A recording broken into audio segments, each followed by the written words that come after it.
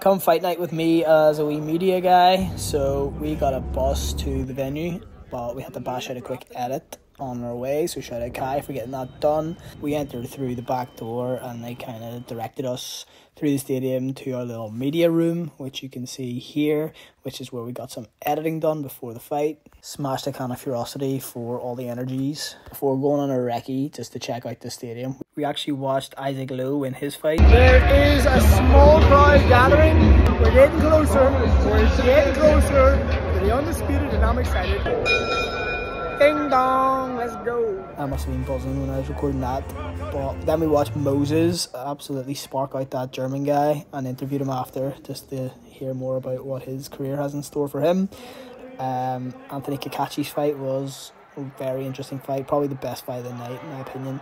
Belfast lad won the belt, so fair play to him. Oh yeah, Ronaldo and Neymar, they were there decent footballers them. Next fight, it's the undisputed. That's.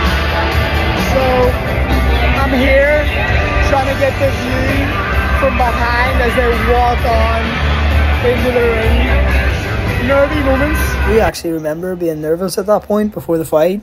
The rapper Jid, Surround Sound, that guy, he did a concert. He was actually on my flight. Usyk's walkout was very interesting, a little bit scary because that big hat he had. It was interesting to see the walkout. Tyson Fury's walkout was actually hilarious. He did that dance with all his brothers, his family. I thought it was really funny. So ran back to my seat. Look at those for seats. Shout out the Furocity gang for the unbelievable seats. Appreciate that a lot. And we watched the fight. I was disappointed when he didn't win, obviously with the content, but also for him himself because he's a great guy.